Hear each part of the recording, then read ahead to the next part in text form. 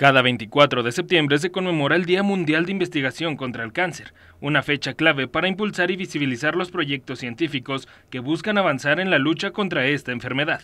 La investigación es esencial para mejorar la calidad de vida de los pacientes, encontrar tratamientos más efectivos y, en algunos casos, llegar a una cura definitiva para ciertos tipos de cáncer. Actualmente se ha identificado alrededor de 200 tipos de tumores, cada uno asociado a células o tejidos específicos. Esta diversidad complica el tratamiento ya que cada tumor puede comportarse de manera distinta dependiendo de su origen y características. Sin embargo, el esfuerzo de los investigadores ha permitido avances significativos en la detección temprana y en el desarrollo de terapias más personalizadas.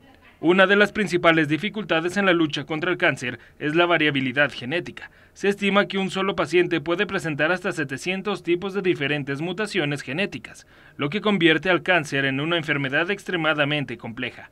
Este nivel de variación hace que un tratamiento efectivo para un paciente no necesariamente funcione en otro, por lo que la investigación debe continuar explorando nuevas soluciones. El Día Mundial de Investigación contra el Cáncer es una oportunidad para recordar la importancia de apoyar y financiar los estudios científicos. Gracias a los avances en investigación, cada vez estamos más cerca de encontrar tratamientos más efectivos y personalizados que puedan ofrecer esperanza a las millones de personas afectadas por esta enfermedad en todo el mundo.